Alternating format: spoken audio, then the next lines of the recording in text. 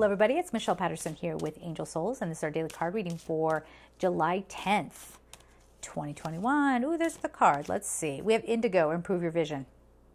You see the pattern going on here? Pay attention to your intuition. Number is 40, reduces to 4. That's guardian angel type energy. And so, your support team that's closest to you in frequency, this would be your spirit guides, your guardian angels, light, well, light beings may not be close in frequency to you. They're from, you know, other dimensions, I guess, you know, other dimensional beings.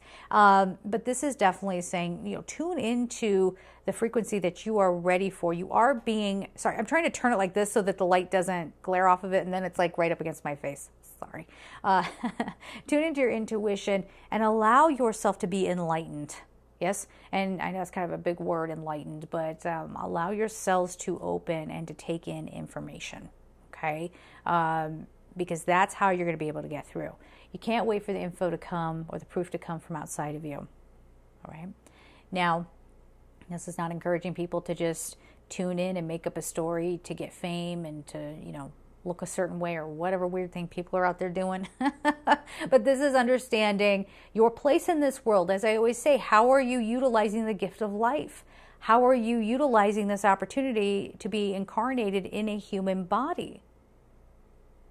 So you have your own kind of soul path and soul lessons that you need to come through, but we also contribute an energy to the collective energy.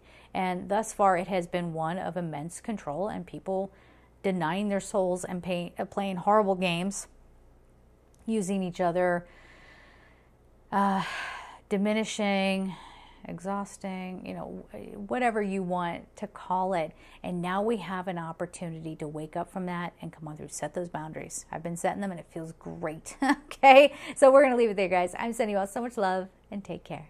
Bye bye.